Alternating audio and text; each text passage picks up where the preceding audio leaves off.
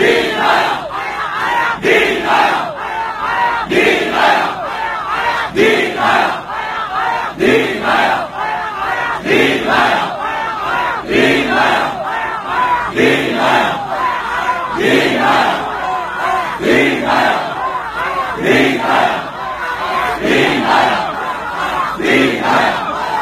Liga! Liga!